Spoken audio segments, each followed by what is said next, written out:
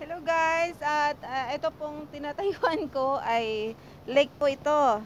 So, ah, try ko lang na maglakad sa sa lake na naging frozen.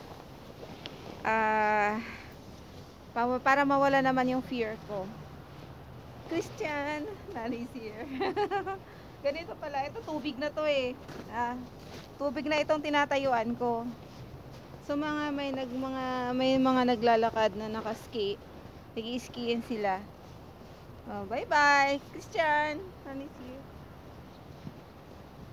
Eto kabila na to. Kabila. Ito na. So, actually itong tubig na to malapit na siya mag-level. Malapit na siya mag-level dito sa pinakataas. Oh. So ganito, kakapal, sobrang kapal na ng snow. At yun ipapakita ko sa inyo. Yun, ganito kalapad yun dito. Yan. So, pwede ka nang tumakbo. Pwede ka nang tumakbo. Ang ganon. Ay, Mir!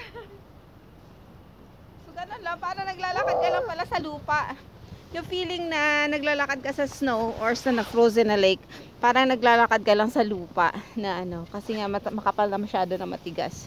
Tsaka ngayon, mag nag snow kaya hindi siya masyadong malamig. Kaya hindi na ako nagsusuot ng mittens. Pero pagkatagalan na naglalakad, ah, na nasa labas, malamig na rin. Pero ngayon hindi naman. So, ah, guys, papakita ko pa rin sa inyo yung kalaparan ng na lake na to. Ayan, mga tao.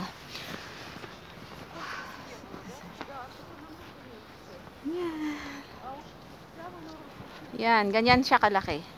May mga nag-ski. Yan. Ito naman yung tulay. Yan. Ibig sabihin sa baba niyan is tubig. Yan. Thank you. Until next video.